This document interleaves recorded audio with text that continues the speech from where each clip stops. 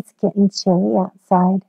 It's going to feel good to snuggle in blankets, light some fire, drink something warm, and sit back and enjoy the beautiful, beautiful colors of autumn and winter. And I like bringing that inside. So I'm going to do a very, very low cost, it, almost no cost, little makeover on my living room to add the cozy. How to do that on a budget? That's a good question. Our colors in spring and summer tend to be lighter. Our fabrics tend to be lighter, and our um, my design is pared down. There's less layering. So to bring in the warmth and the coziness, there's really three things that you concentrate on saturated color, layers, and texture. These are the ways to add in warmth and snuggliness without adding in a lot of heaviness. So I'm taking off the light silky sheets that are on the couch that act as the covers through the spring and summer and adding in beautiful chenille blankets that have the um, faux sheepskin on the back and they're very cuddly.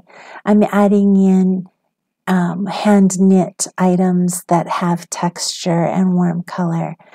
Pillowcases go from cotton and uh, linen to velvets, and velours, and layering becomes key to creating a space that has depth. So, for example, on the top of this old Vantique stereo, I will add in one of my um, silk pashminas that has the colors that I love. I think that might be a really good place to help help you get started is figure out your color palette first. Mine tends towards very natural colors, and I like um, green and adobe or aqua and adobe. I think terracotta and golds, brasses and bronzes, um, black with just hints of a bright green is a great palette for my cozy. So on the top of this old stereo, I'm going to layer on a silk pashmina and some plants in varying heights.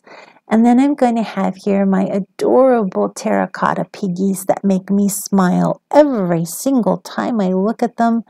And then uh, maybe a little texture here in this stone that I brought from the, the beach of Mexico, one of Mexico's best beaches, if you ask me. And, um, and my house hippo. This is a great way to layer on warmth without it feeling heavy. Don't overlook small elements that can make big impact. Two of the trays that I use to um, corral stuff and stage stuff went from being very light. One was wicker, one was a light wood with a glass insert, and those became dark and grounded. The uh, ottoman tray is an old Russian tray that is black, gold, and red, and the uh, tray that is on the um, my bar cart, quote unquote, is kind of a black, kind of a, actually a espresso brown crocodile. So I'm looking at a lot of texture and a lot of deep saturated grounded color, but no shine, no um, nothing that reflects a lot of light back and says, "Hi, I'm light and bright and airy." So don't overlook what a very small element in a room can do by adding that deep grounded color for your for your winter effect. And then of course, the final element is going to be light, whether it's firelight or uh, incandescent light. I want light that has that warm golden feel to it.